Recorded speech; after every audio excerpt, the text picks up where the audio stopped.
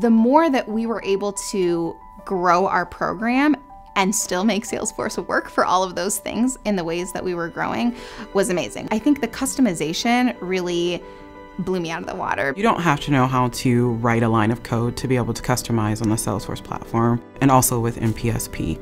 You can create custom fields, custom objects. You can, you know, manipulate page layouts for your end users' views. Salesforce is, is one of the most flexible platforms that I've ever worked with. There's a whole variety of different automation that's available, and, and this is in most cases without a single line of custom code. Each end user from your development department to your frontline staff requires some different form of Salesforce to be able to do their job in the most efficient way. So with the customizations that Salesforce allows, it allows your users to be able to customize what they see on a daily basis. Someone who is in fundraising might go to a student's page to see, okay, where did they do the program? What grade are they in? Do they have a media release? They need to see that information.